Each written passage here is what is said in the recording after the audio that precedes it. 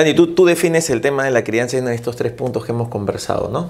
Eh, yo lo defino en cinco cuando trato de dar algún tipo de comunicación a las personas, ¿no? Que es genética, sanidad, nutrición, instalaciones eh, y el otro es bioseguridad, ¿ok? La crianza es un proceso muy largo, muy largo. ¿ya? Esto es una forma de vida, es un estilo de vida. Y, y finalmente uno dentro de este, esta forma de vida, cuando lo lleva, ¿no? cuando uno se convierte en el travero, en el, en el amarrador, en el alimentador, en algún momento, porque después por, por, por trabajo, por distintas funciones, no estamos todo el tiempo, tenemos personas a cargo. Pero tú cuando llegas a tu, a tu traba, ¿cuál es la parte de todo el proceso de crianza que a ti más te gusta? ¿Dó- ¿Dónde es el sitio donde más contento o feliz te puedes sentir? En la zona de encastadero, en los pollitos en levante, en los macheros, eh, en, eh, ¿en dónde? ¿Dónde es que Dani se siente más cómodo en la etapa de crianza? Mira, yo, por mi trayectoria que llevo tanto, eh, de tantos años en los gallos, me las he disfrutado todas.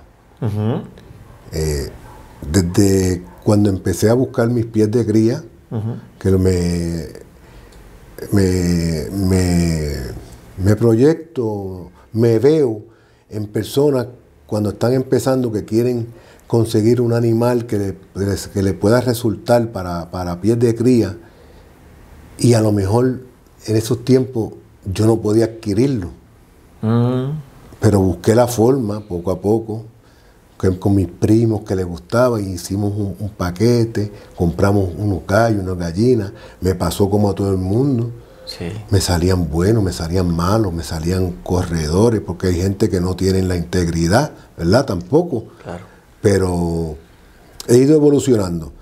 Eh, primero, mi primer fase que me, que, me, que me llamó mucho la atención y tuvo mucho tiempo fue conseguir la base genética, donde me sintiera cómodo. El Ya tipo te- de gallo que a ti te gusta. El tipo de gallo que a mí me gustara. No que le gustara a ti, o que le gustara a Ricky, o que le gustara a Edward. Que a mí me guste. Respaldado en la valla que tenga más probabilidades de ganar. ¿Qué tipo de gallo te gusta, Dani? Bueno, eso, eso, eso, eh, eh, describir el, el tipo de gallo que yo fui poco a poco desarrollando a mi gusto fue a través de, las peleas que fui viendo, eh, el arte, eh, cómo pega el gallo. Fui desarrollando muchas muchas características que me, que me gustan a mí y que pudiera ser respaldado por las estadísticas. Quiere decir que si yo, ah, yo aprendí qué es lo que necesita un gallo para ganar.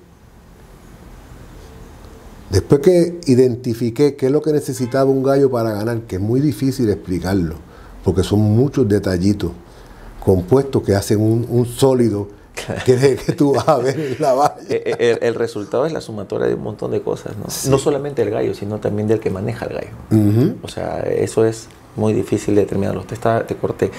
Dentro de eso, que de repente tú tienes como gusto y preferencia de un gallo que te lleva a ser victorioso o ganador, dos o tres características de un gallo que debe tener para ser ganador, inherente al gallo. Bueno, por lo menos en Puerto Rico, por la arma que peleamos, debe ser un gallo eh, defensivo y ofensivo A la vez. a la vez. Que cuando, ata- cuando lo ataquen, yo vea ese movimiento que echa la cabeza hacia atrás para defenderse del golpe, espera que el gallo caiga al suelo y que el mío vaya a atacar. ¿Ves? Que tenga esa, que tenga el corazón, la determinación de ir siempre en busca de la batalla, pero no de frente. Me gusta que vayan con unos movimientos, Con cierto movimiento. como el boxeador con la cintura. Ajá. Tú ves boxeadores que se quitan golpes de encima. Eh, que agarre en la picada. Hay muchos gallos que pican mucho, pero no agarran. Y si no agarran, no hieren. Una mordida fija. La mordida. Que vayan, que hagan, que tú los veas que cuando aprieten esa boca le llevan una plumita o dos en la boca y vas a ver que le van a pegar, porque al ellos agarrarlo, mueven al otro hacia las patas. Y ahí hay mayor efectividad.